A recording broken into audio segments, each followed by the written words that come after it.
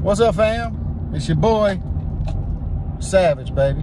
Got a little nugget for you while I'm getting blinded by the sunlight.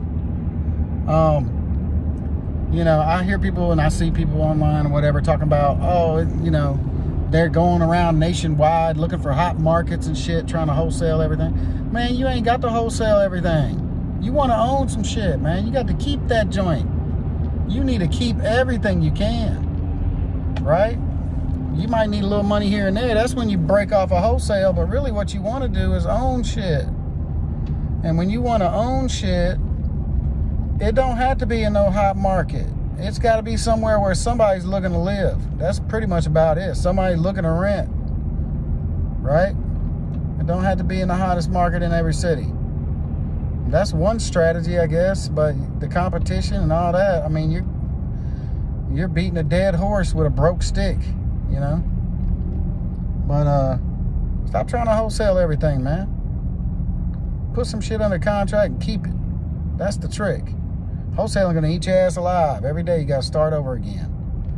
Every day chasing a deal. That's exciting for a minute until you don't get a deal for two months. Then that shit ain't exciting no more. Now it's desperate, right?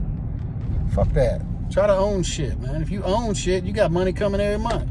Yeah, 500 bucks cash. Know, $500 profit coming in every month. Whatever. Shit, that's $500 you didn't have. You got three or four or five of them. You got five of them do the math. That's $2,500 a month. And you ain't got to do shit.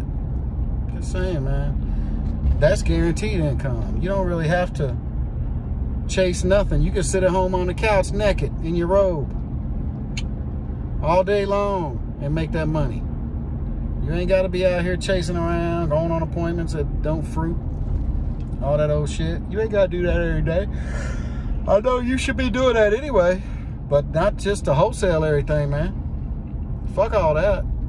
Wholesaling everything is a lot of work, bro, and the taxes is gonna murder your ass. You know, especially if you don't have your company structure set up right, which most likely most of y'all don't. I can guarantee that. I can put a million dollars down and say maybe one out of every 10 people that tells me how their business is set up got it right. Probably not even that.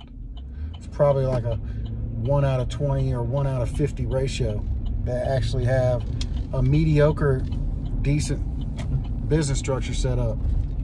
And if you don't have that set up right, you're getting straight clowned come tax time. You're getting straight boo food in the rear end, dude, with no Vaseline. Because if you don't have it set up right, you don't got no tax breaks. You don't got no depreciation. You don't got no write-offs like you could have, right? Getting straight boo food, man. Boo food, dude. That's what we used to say back in the day. Stands for getting fucked, really. Boo food. hey, girl. Anyway, um, holla at your boy the Savage. If y'all want to get this shit going, get this shit set up, learn how to work in your little rinky-dink market and still make money. Because you can still work in your little shitty market and make money. I'm telling you. You can make money doing this shit anywhere right? Anywhere, literally. Like that's that's the point. Real estate. It don't say uh, I do hot real estate. Oh, what do you do for a living? Oh, I do hot real estate. Hey, girl. I do hot real estate in the hot markets. No, it's called real estate in general. It's a generalized thing. You can do it generally everywhere. Not just hot spots. Hot spots are overrated in my opinion. Yeah, you'll get hot spots is where the people are cashing out they've been holding on and it used to not be a hot spot you know all the good shit been gone in the hot spot most likely unless it's just now starting to blow up but anywho got me missing my turn about to pull the truck tires out and burn rubber through this yard real quick. Anyway y'all have a good night. I'm the Savage Investor. Check out my pages my groups. Like send me a message. And uh, if you need some nuggets, man, and you out here struggling doing the same old bullshit everybody on these Facebook pages is doing, all hundreds of thousands of them doing the same thing and ain't nobody winning. If that's you, holla at me, man, because I know you're tired, motherfucker. I know you're tired. I know you're worn the fuck out. I know you're tired of fucking trying, man. You ain't got to try, dude. It's not that fucking hard. You ain't got to keep trying. Try, try, try every day. You're doing it wrong if that's what you're doing. I don't never try. I just do, right? I used to try my ass off and I got tired of that shit. That shit wore me out. Had me broke and depressed. All kind of upside down on my bills. It had me fucking spending $4,000 a month and nothing coming in. That's what happens when you just keep trying shit.